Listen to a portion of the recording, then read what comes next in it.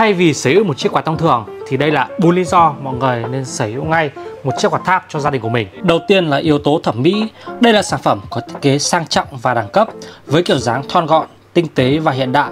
Quạt tháp có thể phù hợp với nhiều phong cách thiết kế nội thất khác nhau.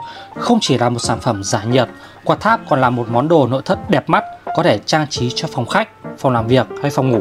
Thứ hai là tiết kiệm năng lượng. Quạt tháp còn có thể đối lưu với máy lạnh để tạo ra sự thoải mái tối đa và tiết kiệm điện năng, tiết kiệm chi phí cho gia đình khi kết hợp dùng chung với máy lạnh. Hãy cài đặt nhiệt độ máy lạnh khoảng từ 27 tới 28 độ C, không khí sẽ rất mát mẻ và thoáng mát đấy. Thứ ba là tính năng đặc biệt của gió. Gió được thổi ra từ sản phẩm này sẽ nhẹ nhàng và dễ chịu hơn. Điều này làm cho quạt tháp trở thành một sự lựa chọn tuyệt vời cho các thành viên trong gia đình, từ người lớn tới trẻ nhỏ. Và cuối cùng là tiết kiệm không gian tối đa.